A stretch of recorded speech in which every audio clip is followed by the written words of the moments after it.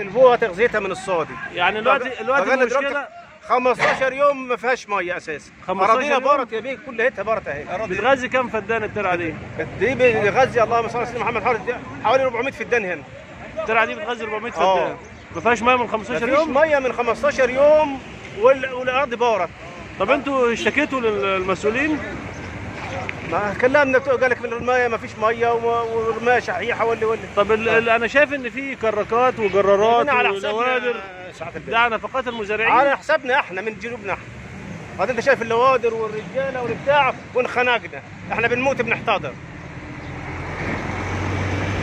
ولا بتاع صرف بيسال فينا ولا بتاع ري بيسال فينا كل واحد قاعد في المكتب بتاعه المكيف. صان مش فيه مي. مصرف صان العموم مش فيه مي. مصرف مش فيه مي. كراكات تفحر مصرف صان وتطلع طين في الاراضي عشان لقى ما نزرع طب مصرف صن انت مصرف صان نفسه المصرف إحنا عندنا لاقيين في المصرف. مش لاقيين لا ما في ترعه ولا في المصرف المصرف فيه ربا كتير وكل كراكه بتيجي بتحش النجيل من على الحرف والطين ثابت فيه يفحر علشان نلاقي عارف نزرع ميه إيه اللي غطسين تحت دول؟ طلعوا الساعة كده حمدي يصورني محمد إيه يا عم في إيه؟ بتعمل إيه؟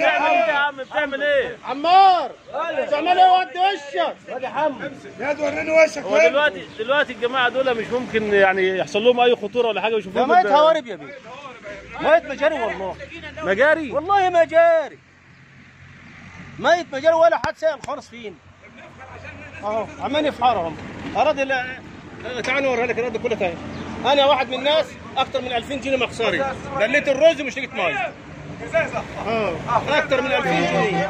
أنا مش واحد من الناس. أكثر من 2000 جنيه مخسري. بحر من اول كوبري ال- الأسفلت لغاية كوبري الحصينة. بدوران الحصينة ده.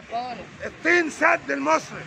طب معلش أنا عايز أوصف الطريق ده. دلوقتي إحنا على في كوبري طريق. الحصاينه طريق أبو كبير كفر صقر طريق أبو كبير كفر الصقر كوبري الحصاينه آه. تمام.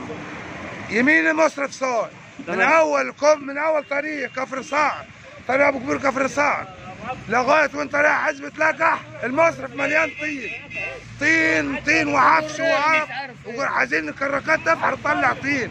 في الأراضي مش يحطوا على الاسفلت طلعوا طين يحطوا في الأراضي عشان مش مش ترجع تاني. لأن على الاسفلت وبرجع له تاني.